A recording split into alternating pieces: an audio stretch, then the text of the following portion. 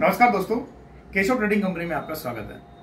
तो दोस्तों, आपको पता है, चाय पत्ती के व्यापार संबंधी बातें हम इस चैनल के माध्यम से आप लोगों तक तो पहुंचाते रहते हैं। तो दोस्तों, अभी मई एंड का टाइम है और आपको पता है सेकेंड सीज़न की जो चाय है, वो भी आना स्टार्ट हो गई है।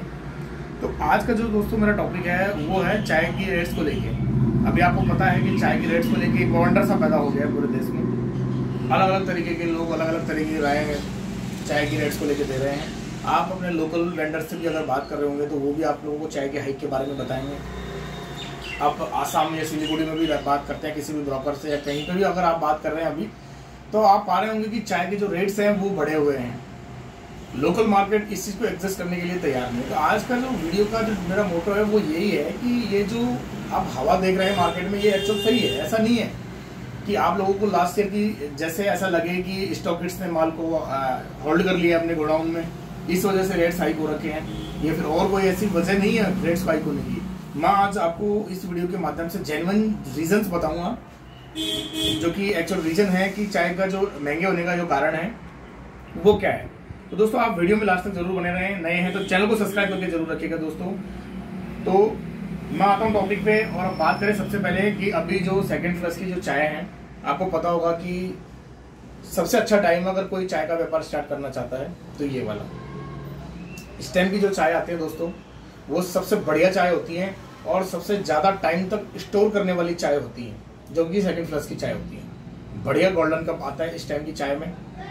अधिक टाइम तक आप उसको स्टोर करके रख सकते हो, उनकी जो कैपिंग कैरिंग कैपेसिटी होती है वो बहुत ज़्यादा होती है। आप लोग साल, डेढ़ साल, दो साल तक उस चाय में कोई दिक्कत नहीं आती। उनका वही फ्लेवर रहता है, वही लिकर रहता है, उतना ही अच्छा एरोमा में आता है। तो आप लोग इस टाइम अगर चाय का व्यापार स्टार्ट करते हैं, या कर चुके हैं, या कर रहे हैं अगर आपको बढ़िया चाय स्टोर करना है तो this is the right time आपको इस टाइम चाय को स्टोर करना चाहिए, क्योंकि इस टाइम की जो चाय है, वो अधिक समय तक टिकी रहती है। तो दोस्तों, पहला रीजन की अगर हम बात करें, चाय जो महँगी हो रही है मार्केट में, एक बवाल सा हो गया है मार्केट में, आप कहीं देख लीजिए चाय के रेट्स को लेकर तबाही मची हुई है एकदम, कि फिर वही लॉकडाउन की स्थिति थी। जैसे लास्ट टाइम पे आपने देखा होगा लास्ट ईयर भी एकदम से अचानक से चाय के रेट्स कहाँ से कहाँ पहुँच गए थे। तो लोगों को कहीं ना कहीं अभी भी वही चीज़ का डर सता रहा है कि क्या पता सेम सिचुएशन इस बार भी पैदा नहीं हो जाए। तो दोस्तों, मैं आपको क्लियर कर देता हूँ लास्ट ईयर की सिचुएशन और थी, इस बार की सिचुएशन कुछ और है। लास्ट टाइम जो चाय को महँगे होने के रीजन थे, वो बहुत अलग थे। इस बार जो चाय महँगी हो रही है, उसके रीजन बहुत अलग है। तो हम बात करें पहले रीजन की। तो दोस्तों, अभी आपको पता है मे एंड है और आपको सेकंड फ्लस की जो चाय है, वो मिल रही है। सेकंड फ्लस हमेशा सारे सीज़न में महँगा होता है। तो पहली चीज़ तो आप नोट कर लीजिएगा। पहला जो कारण है चाय महँगे होने का वो एक तो ये है। वो इस बार नहीं आप कोई से भी सीज़न आप कोई आ, से भी ईयर में उठा के देख लीजिए प्रीवियस कोई भी ईयर को आप देख लीजिए। आप tea mart tea board of India की साइट विज़िट करके देखेंगे तो उसमें भी आप ये पाएँगे कि साल के साल में जो ये वाला सीज़न है वो हमेशा महँगा होता ही होता है। ये पहली वजह है चाय को महँगे होने की क्योंकि सेकंड फ्लस हमेशा महँगा ही जाता है क्योंकि चाय इतनी अच्छी प्रोड्यूस होती है इस टाइमिंग की तो उसकी वजह से जो है चाय की जो रेट्स हैं, वो महँगे होते ही होते हैं। दूसरा जो रीजन है, जितने भी भारत भारत के जो बड़े पैकेटियर्स हैं बड़ी बड़ी जो चाय की जो कंपनियाँ हैं, वो भी इसी टाइम सबसे ज़्यादा जो है बाइंग करती हैं। तो एक दूसरा जो मेजर रीजन है, चाय को महँगे होने का, एक वो भी है कि जितने भी बड़े जो पैकेटियर्स हैं बड़ी बड़ी जो कंपनियाँ हैं, जिनको की बहुत अच्छा उनका व्यापार है, बहुत अच्छी उनकी सेल मार्केट है तो वो लोग भी जो है, इस टाइम की चाय को ही ज़्यादा स्टॉक करते हैं। तो दूसरा रीज़न जो है, वो ये भी है। कि जो छोटे व्यापारी हैं, उनके मुकाबले वो बहुत ज़्यादा भी परचेज करते हैं तो दो रीज़न तो दोस्तों ये हो गए। तीसरा रीजन की अगर हम बात करें तो आपने काफ़ी टाइम से कुछ वीडियोज़ में भी आपने देखा होगा न्यूज़पेपर वगैरह में भी अगर आपने पढ़ा हो तो ये ज्ञात हुआ होगा आपको कि जो आसाम है और जो वेस्ट बंगाल है, वहाँ पे जो बारिश होनी चाहिए थी, वैसी अभी तक बारिश नहीं हो पाई है। वेदर कंडीशंस जो हैं, वो अभी ठीक नहीं है, जिस कंपेयर में जो पिछले साल की अगर हम बात करें तो अभी जो बारिश हुई है दोस्तों, वो बहुत कम हुई है, जिसकी वजह से भी जो एवरेज प्रोडक्शन है वहाँ का, वो घटा है। पेपर वगैरह में भी आपने अगर देखा होगा तो वहाँ की जो फैक्ट्रियाँ हैं, बहुत सारी फैक्ट्रियाँ तो अभी ओपन ही नहीं है। जो कि रनिंग में अच्छा प्रोडक्शन देती थी, वो अभी ओपन ही नहीं हुई है। तो एक ये भी बहुत बड़ी वजह है चाय जो मार्केट है उसमें जो इतना एक फ्लैक्चुएशन आप लोग देख रहे होंगे अभी मार्केट में कि 20 से 25 रुपए का हाइक अगर हम देखें तो देखने को मिल रहा है दोस्तों। तो उनकी ये भी वजह है कि वहाँ पे प्रॉपर बारिश नहीं है प्रॉपर प्रोडक्शन है ही नहीं। जितने चाय के पत्ते होने चाहिए थे, उतने अभी है नहीं गार्डन वगैरह में। तो ये भी एक मेन वजह है कि चाय के जो रेट्स हैं, उनमें इस टाइमिंग में एक अलग ही हाइक देखने को मिल रहा है दोस्तों।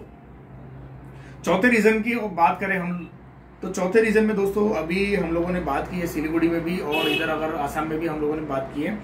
तो जो चाय की जो कच्चे पत्ते जो होते हैं, कच्ची चाय जिनको बोलते हैं, जिनसे चाय बनती है, उनके जो रेट्स हैं, वो भी एवरेज रेट से दस रुपए, पंद्रह रुपए महँगे हो गए अगर हम लोग लोअर गार्डन वगैरह की भी बात करें तो उनके जो एवरेज चाय के पत्ते जो पंद्रह से बीस रुपए, पच्चीस रुपए के जी होते थे, वो अभी पैंतीस रुपए के रेट से चल रहे हैं पर के जी और अच्छे गार्डन की जो चाय है, वो पचास रुपए पर के जी तक हो गई है कच्ची चाय। कच्ची चाय के जो पत्ते होते हैं, उनका जो एवरेज रेट है, वो कभी भी इतना नहीं जाता। लेकिन आपको पता है कि जैसे जैसे बारिश कम होती जाती है प्रोडक्शन वहाँ पे कम होते जाता है तो उनकी जो रेट्स हैं पत्तों की, वो ज़्यादा होती जाती है।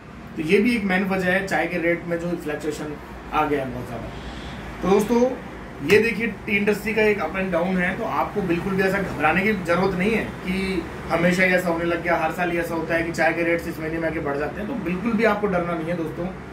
ये बाज़ार है ये तो चाय इंडस्ट्री है, बहुत सारी इंडस्ट्री ऐसी है जिनमें आप देखोगे कि हर महीने, दो महीने, छह महीने में भी फ्लक्चुएशन देखने को मिलते हैं। तो आपको अपने मार्केट में प्रॉपर टिके रहना है, आपको बिल्कुल भी डरना, घबराना नहीं है। सिचुएशन अभी ऐसी है। आने वाले अगर हम बात करें तो महीने, दो महीने के अंदर मैं कह सकता हूँ, जो भी हम लोग एनालिसिस करते हैं, उसके अकॉर्डिंग की चाय की जो रेट्स हैं, वो एकदम बड़े तरीके से सही हो जाएँगी, जो भी आप एक्सपेक्ट कर रहे हैं। तो उसके लिए आप बिल्कुल भी ऐसे टेंशन ना लें कि भैया चाय इंडस्ट्री में छोटे वेजिटेरियंस जो हैं, बेचारे उनको बहुत ज़्यादा दिक्कतें आ जाती हैं इस टाइमिंग में। तो आप बिल्कुल भी टेंशन ना लें, चाय के जो रेट्स हैं, वो महीने दो महीने में एकदम सही जगह पे आ जाएँगे। तो दोस्तों, ये थे एक्चुअल रीजंस जो कि चाय बाज़ार को हाइक कर चुके हैं। अब आप जो भी अपने मन से मनगणित जो भी लगा के बैठे हैं तो वो बिल्कुल भी सरासर गलत है दोस्तों। जो भी अफवाहें आप सुनते हैं मार्केट से कि स्टॉकेट्स ने माल को होल्ड कर लिया है रेट चला के बढ़ाई जा रही है तो ऐसा बिल्कुल भी नहीं है दोस्तों। जो रीजन मैंने आपको बताया वही एक्चुअल रीजन है। आप कहीं पे भी अगर आपके कोई ब्रोकर हैं आसाम, सिलीगुड़ी, दार्जिलिंग में तो आप उनसे बात करेंगे तो मैं जो आपको बात बताइए वही वो बात आपको बताएँगे। क्योंकि एक्चुअल यही पोजीशन अभी वहाँ पे हो रखी है। जस्ट लॉकडाउन के बाद की स्थिति थी फैक्ट्रियाँ खुलने वाली थी, लेकिन खुलने के साथ साथ कम बारिश के चक्कर में पत्ते कम हो रहे हैं, पत्ते कम हो रहे हैं तो उनकी रेट बढ़ गई है। तो ये सारे कहीं ना कहीं ऐसे कनेक्शन बने, उसके चक्कर में जो एवरेज प्रोडक्शन होना चाहिए था आसाम और सिलीगुड़ी का, वो भी कहीं ना कहीं कम है इस बार। तो ये सारे जो रीजन थे, उनके चक्कर में इस महीने में जो है रेट्स जो है बीस से पच्चीस रुपए बढ़ गए हैं। तो दोस्तों आई होप आपको ये जो इन्फॉर्मेशन है, अच्छी लगी होंगी। अच्छी लगती है हमारी वीडियोस तो दोस्तों लाइक करते रहे शेयर करते रहे अपने दोस्तों के साथ। चैनल पे अगर आप नए हैं तो सब्सक्राइब करके बेल आइकन ज़रूर प्रेस कर लें, क्योंकि आपको पता है व्यापार संबंधी बातें अच्छे अच्छे व्यापार की बातें भी हम लोग इस चैनल के माध्यम तक, से आप लोगों तक पहुँचाते रहते हैं। मिलते हैं दोस्तों किसी और वीडियो में, जब तक के लिए नमस्कार।